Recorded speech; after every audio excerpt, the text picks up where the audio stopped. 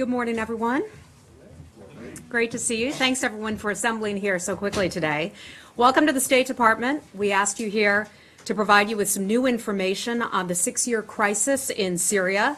I'm joined today by Acting Assistant Secretary for the Bureau of Near Eastern Affairs, Stuart Jones. Stuart recently returned from the talks in Astana. He'll give us an update and also provide you with some newly declassified information on Syria today. Last week, Secretary Tillerson met with Russian Foreign Minister Sergei Lavrov for more than an hour here in Washington. You've read the read- readout from that meeting, but I'd like to provide you with some additional context and details coming out of that meeting today. Secretary Tillerson was firm and clear with Minister Lavrov. Russia holds tremendous influence over Bashar al Assad.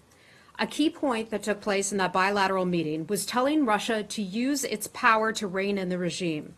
Simply put, the killing and devastation has gone on for far too long in Syria.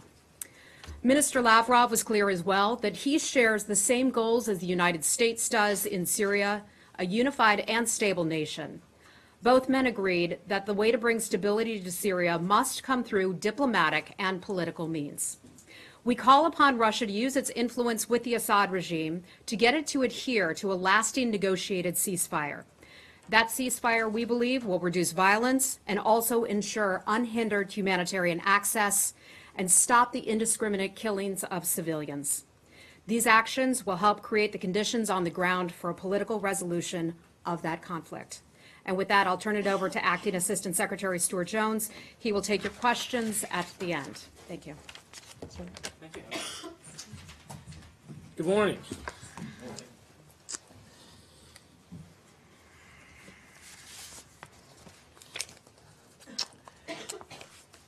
Thank you for being here this morning. Since Syria's civil conflict began in 2011, the Assad regime has treated opposition forces and unarmed civilians as one and the same, committing widespread violations of international law, including the law of armed conflict and human rights law.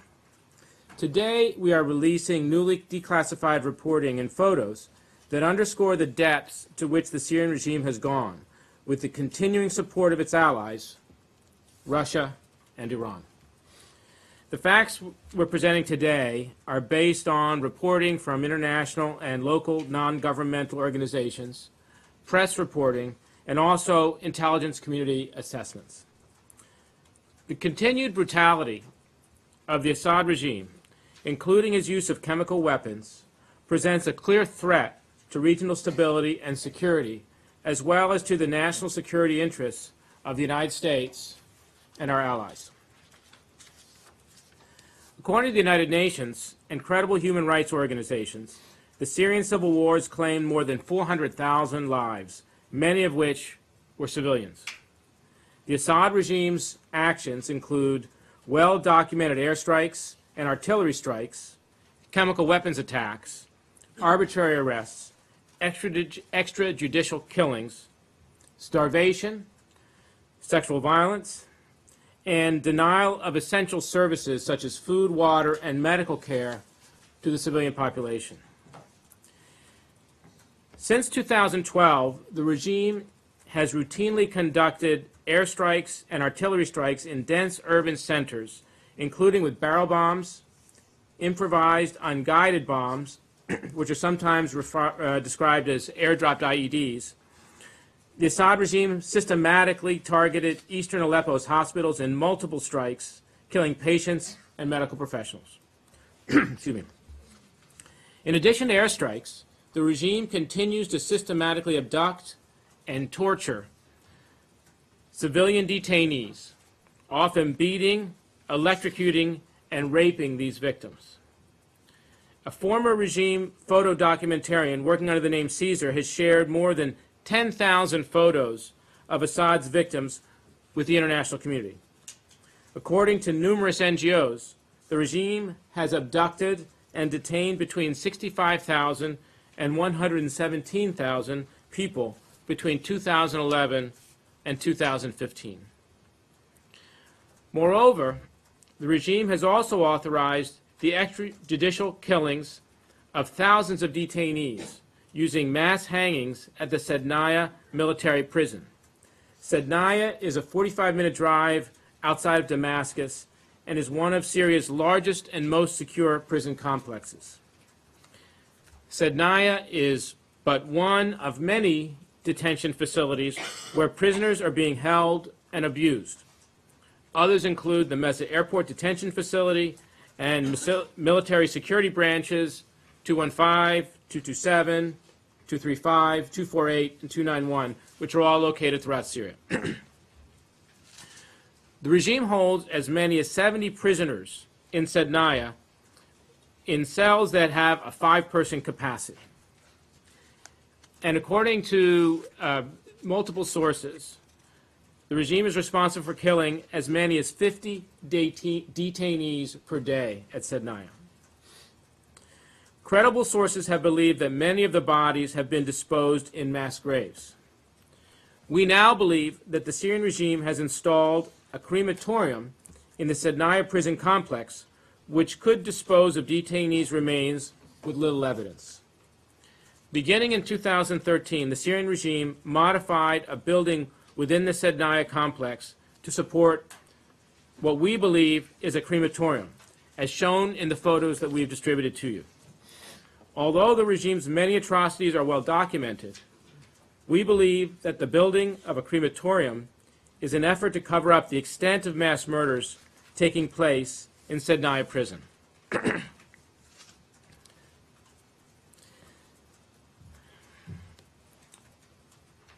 the United States is on record and has stated many times that we are appalled by the atrocities that have been carried out by the Syrian regime.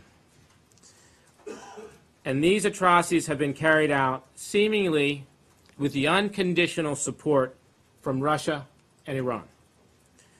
Two weeks ago, as Heather said, I attended the Astana conference in Kazakhstan as the U.S. observer. At that meeting, led by Turkey, Russia, and Iran, the guarantors of the Astana process, it was agreed to create de escalation zones that would reduce violence and save lives. In, the, in light of the failures of the past ceasefire agreements, we have reason to be skeptical. The regime must stop all attacks on civilians and opposition forces, and Russia must bear responsibility to ensure regime compliance. Russia joined the unanimous UN Security Council Resolution 2254, which demands that all parties immediately cease any attacks, any attacks against civilians. Russia has either aided in or passively looked away as the regime has conducted an airstrike against a UN convoy, destroyed East Aleppo, and used chemical weapons, including sarin, against civilians in Idlib prov- province on April 4. During his visit here last week, Foreign Minister Lavrov acknowledged that there is no military solution to the Syrian conflict.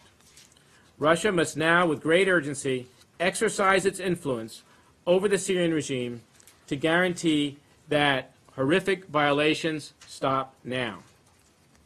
So with that, I'll take your questions. Thank you very much. And I'll help facilitate that. Thank, thank you. Um, two things. Um, one, are, are you suggesting that Russia and/or Iran have anything to do with this crematorium? No. Or, no, okay. And then secondly, do you have any idea, uh, how many, you said thousands, mass hangings, uh, how many of the bodies are being disposed of in mass graves, or how, and how many are being burned? No. So you're familiar with the Amnesty International report, which uh, projected that as many between five and eleven thousand people had been killed in Sednaya between 2011 and 2015. Right. So that gives you some idea of what the Right. and then there's other other data which suggests as many as 50 uh, murders uh, a day coming out of That's, uh, that's the, an the awful- complex. That's an aw, I mean, that's a lot. Do you, are all of those, do you think all of the fifty a day are being burnt, or? Are So I don't know, uh, but, so, but our, what we're project, what we're, what we're assessing is that if you have that level of production of mass murder, then using the crematorium would help, would allow the regime to manage that number of corpses coming out of the prison complex. Margaret? And without, without evidence. Uh, Thank you very much for doing this. Two questions for you. One, do you have any status update on the Americans, Austin Tice or others who may be held or believed to be held by the regime? And if there's any connection here, please tell me. And secondly, um, you talked about the conversations with Lavrov, again, the case made that Russia is aiding and abetting here. Did the secretary walk away with any kind of agreement uh, from his meeting or any kind of achievement to have them say they're willing to step back? They've been telling multiple secretaries of state for some time they're not wedded to the Assad regime. So on the, uh, on the issue of the U.S. hostages, no, uh, we don't see a connection between the U.S. hostages and what we're talking about, what's going on here at Sednaya prison.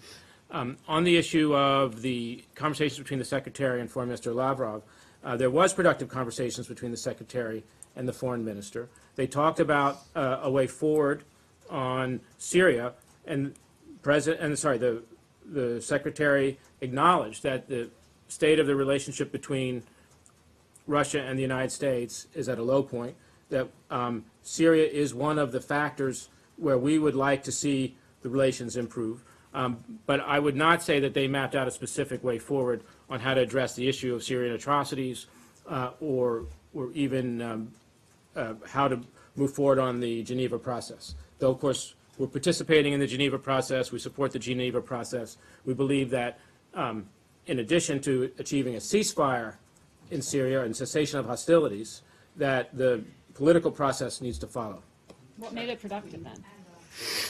I think, Hi, uh, thank you for doing this. Have you presented Russia with this visual evidence? Have you asked them to take any actions uh, and/or gotten any response from them?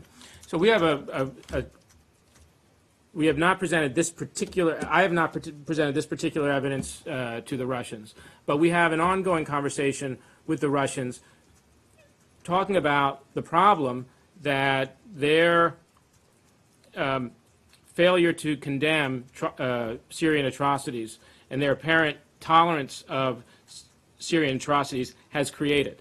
And we have urged the uh, regime, the, we've re- urged the Russian government to hold the regime responsible for these atrocities. Sir? Yeah, yeah, sir? Yes, sir? Rich, Um, Doesn't this, or does this make the case, or is there a consideration of military action to destroy the crematorium, some of this apparatus here? As the president has said, we're not going to signal what we are going to do and what we're not going to do. Um, At this point, we are talking about this evidence and bringing it forward to the international community, which we hope will put pressure on the regime to change its behavior. Can I just one very extremely briefly? What makes you so sure that this is a crematorium and not just some other building? Is it this thing with a snow melt? Because I mean, people are going to look at this, the regime in particular, or and the Russians who you're uh, are going to look at this and say, well, all this proves is that there's a building there, and that that part where there's snow is melted is simply warmer than the rest of the building. So if you look, so obviously these photos date over several years from 2013 to 2017. If you look at the earliest photo, the August uh, 13 photo, this is the, during the construction phase. And, you know, these HVAC facilities, the discharge stack, the probable firewall, the- the probable air intake, this is in the construction phase. This would be consistent if they were building a crematorium. Then we look at the uh, January 15 and we're looking at snow, snow melt on the roof that would be consistent with uh, crematorium. So, Just a warmer part of a building, right? possibly. Sir, Dave, could I ask you on, So, final question. uh, if Russia refuses to do anything about this, what's next? Well, the Russians, uh, Russian Foreign Minister Lavrov and the Russian government have indicated to us that they are interested in finding a solution on Syria. And there is no solution on Syria without a, a political process, and certainly an end uh, to these atrocities. So uh, we hope that the, uh, we will now be able to work with the Russians in a constructive way to put pressure on the reg- regime to end these atrocities, that the Russian government will take responsibility for their partner, the Assyrian regime, to end these atrocities. So And- can I just follow up uh, briefly on that? The, you say this uh, uh, evidence dates back, uh, well, you'd been built up over four years, 2013, 2017. Did this intelligence just become concrete recently, and is that why you're releasing it today? Or are you releasing it today with the hope of a political effect?